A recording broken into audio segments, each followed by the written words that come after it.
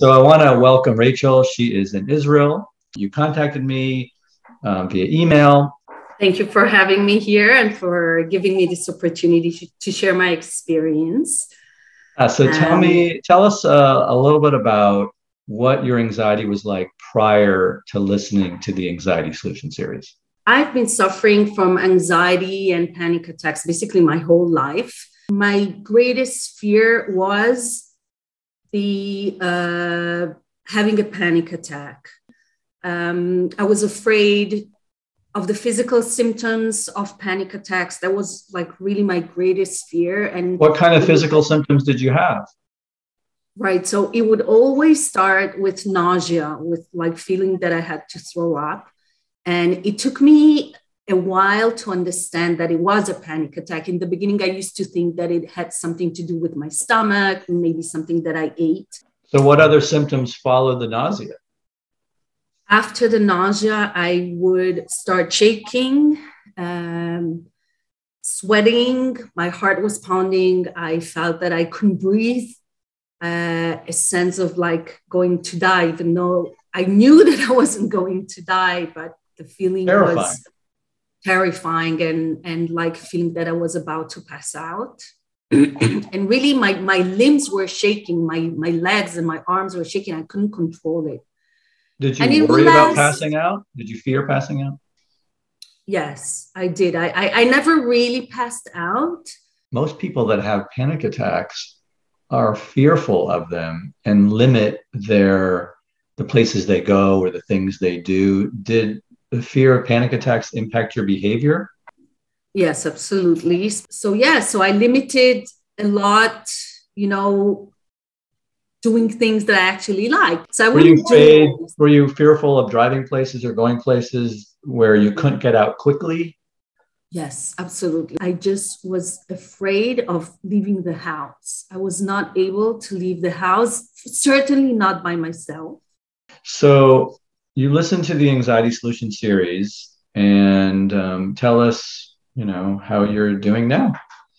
I'm, I'm feeling great. I'm feeling really great. I'm feeling, I feel safe. I feel like I have what I need to cope with whatever comes to me at any time. Because my greatest fear was that of feeling the physical symptoms of attack and anxiety and I discovered the, the three by three breathing that calms my body instantly, instantly. Mm-hmm. So as soon as I feel something coming up, like some tension in my stomach, I don't even wait for it to become, you know, bad to feel not. I don't wait. I start right away wherever I am. And when I say where, wherever I am, I mean wherever I am, whatever I'm doing. And that includes, for example, I volunteer uh, at the police patrol uh, here in Israel. And so sometimes, you know, there are some tense situations. I do that while I'm in the in the police car, while I'm in front of like whenever really it's possible to do that. And it's like something coming into me and calming my whole body instantly. Very simple, very basic. I I was shocked at like understanding how such a basic thing can help so much. That must give you a lot of confidence to go places and do things. And are you as worried about having a panic attack? No, I'm not as worried as I was. And it helps really most of the times. Before I knew the three by three breathing, what helped were pills. Like I would take Xanax or whatever. That was my my uh, safety insurance. Let's say I would, you know, have it in my bag and use it whenever necessary. But I wasn't happy about that solution because I didn't want to.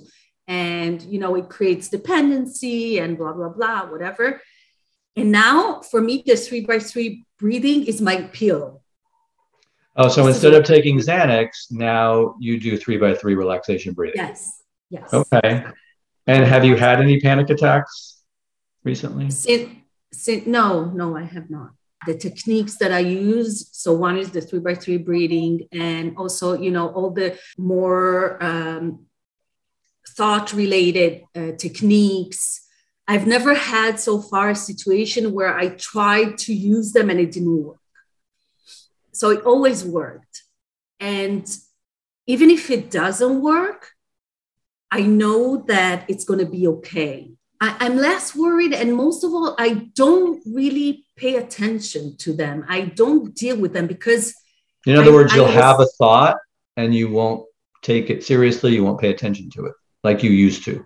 Yes, I would say to myself, okay, it's true. Maybe it could happen. There is a maybe 1% chance that it would happen, but it doesn't make sense to give so much thought and importance to something that most likely will not happen. Before the series, I was not able to rationalize. I would just focus on the catastrophe because that was the thing that I was most afraid of. But now I'm able to rationalize and put things in proportion. One of the things that are very hard to cope with for people who suffer from, from anxiety is this is a sense of loneliness of feeling i'm alone in this you know i'm the only one in the world suffering from it. People don't understand and it's not true. So one thing that i liked a lot about the series is hearing interviews with other people who suffer from panic attacks or anxiety how they described uh, what they felt and and how they cope with it and how it changed after hearing the series. It was absolutely inspiring incredible and and I felt the same. So I know that it's true. Else in particular that you appreciated, that you liked about the program? Because it's yes. very full. It's 12 hours. It is. And and I devoured the 12 hours within just a few days. It, it didn't feel long because it's not listening to someone talking for 12 hours. It's it alternates um, you know interviews with explanations with different is people or lecturers or doctors talking. There is music. There is, by the way, I liked a lot this, you know, music that you have in the beginning and mm. at the end of every session. You know, it, make, it makes me feel good. You know, it makes like a good association. Good. And so I was always looking forward to the next chapter. And I also think that the fact that the chapters are very short, like 15 minutes, maximum 20 minutes, is always a good thing because it doesn't feel long. I liked a lot the irony, you know, the fun about it, the, the funny part, the, for example, um, trying to personalize fear, you know, to make it concrete and to encourage every person to create their own personalization of their fear and to to talk to it you know and to tell it what to do and what not to do uh, it makes us feel a bit stupid but in a funny way in a good way and all of a sudden we realize you know th- th- that's so funny actually why am i so afraid of it so have you been to therapists before? Have you been on medication before? Yes, yes, I have. I uh, I've been to many therapists who have. Some of them have not helped at all. Some of them have, but again, it's occasional. It doesn't stay with me, and every time I, you know, I I, I suffer again from anxiety or from panic, panic attacks. I feel that I have to go back I have to go back to therapy. I have to sort of start all over again. I don't have my own tools to deal with it. So I feel dependent. Uh, whereas the anxiety solution is my tool to deal with it. I've, I always have it with me. And so I, I don't feel the dependency. And you can go back and listen to chapters that were helpful. Is that what you've done? Yes, yes, which I do. Yes, which I do. Absolutely. You know, it's I have it in my phone. It's like a treasure for me. The series is very well structured and it covers all aspects of anxiety. It, it's also an explanation. It's a kind of, you know, it a lecture almost. It explains to you what it is, what's happening to you, why it's happening to you, what happens in your body. These are all things that very often, you know, when you have sessions with therapists, don't come up. Well, thank you so much for doing this interview. I really appreciate it. I'm so happy that the Anxiety Solution series was helpful. I created it many, many years ago. I actually started with one disc. My goal was just to do one disc, but there was so much material, I'd do two discs. Two discs led to three discs, and by the end, there was nine discs. So it's very comprehensive.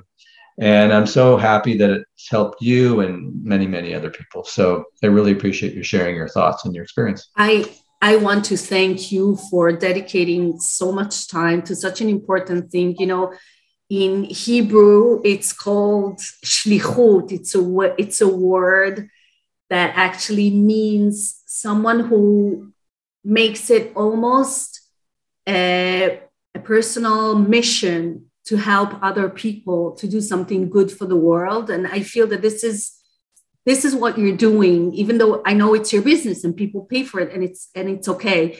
But you decided to dedicate your life to helping people. And i think this is the greatest thing a person can do in this world. Oh, that's very so sweet. you. really sweet. Thank you so much